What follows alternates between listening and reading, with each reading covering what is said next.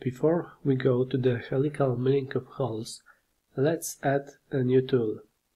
Let's add a 10 mm diameter end mill. Select machine and define tool and choose flat end.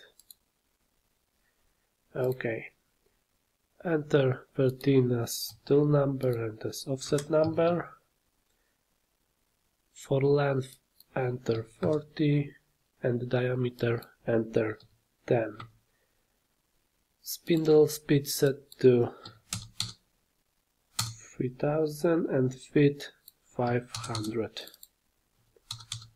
Okay, let's add a simple holder. Click simulation button and here select simple and length 60 and diameter 40 and OK and save this tool as flat 10 and OK. Now let's select this tool. Machine tab select tool. OK. And select rough or finish operation. OK in types type select vertical inside section and selected in geometry section in the general tab in the compensation select tool center and XY corners select straight. OK, in the levels and cuts tab, set safe rapid level to 25 mm, rapid down to 5, material top 0 and final depth minus 11. Check the helical interpolation and the pitch parameter is activated. It means the pitch of the helix along the tool will goes down enter here 3 OK and go to the machining data tab and enter minus 0.1 in stock to be left field and the minus allowance value means that we will gently undercut the material and the milled hole will be 0.2 millimeter larger. Okay, let's set the lead in and lead out. Select apply auto lead in out. Select both in lead in. Line length set to 0.2 and arc radius 0.1. Copy these parameters to lead out and overlap set to 1. Click OK and select 4 circles with a diameter of 17 millimeters. Okay. Accept the selection and we have now a helical milling of these holes.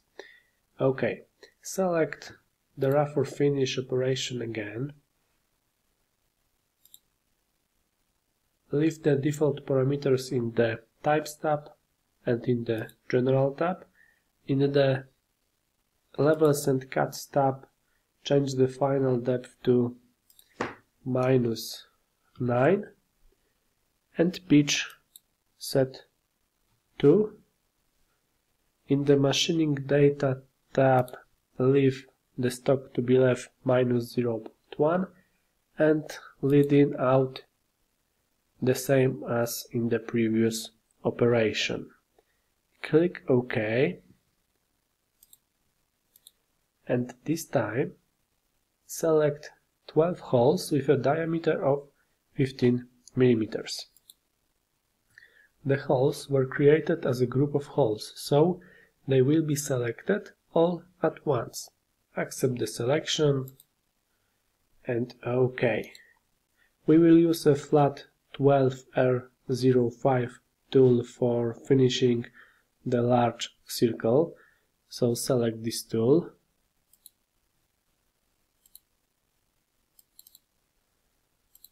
Okay. Select rough or finish operation. Leave the default parameters in the types tab. In the general tab, this time we will use machine compensation.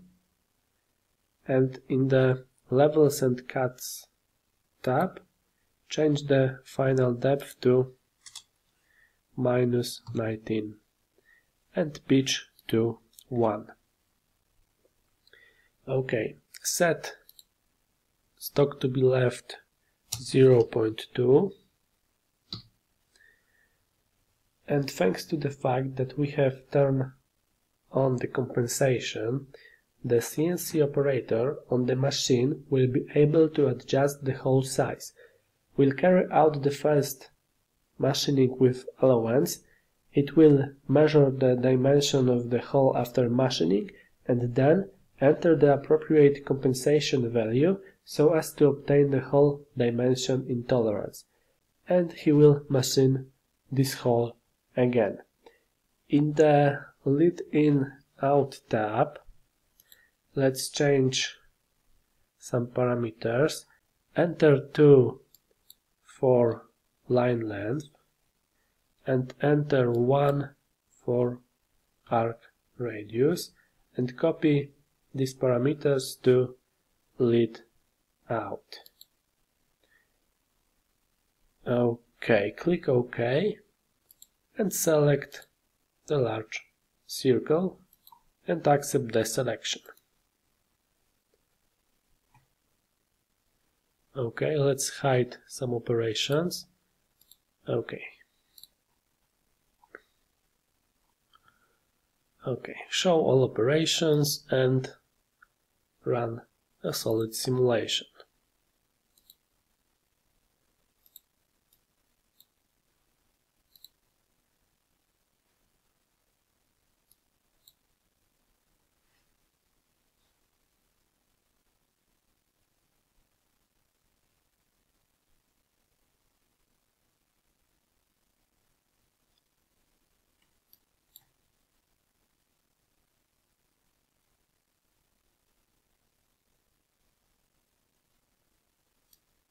Okay.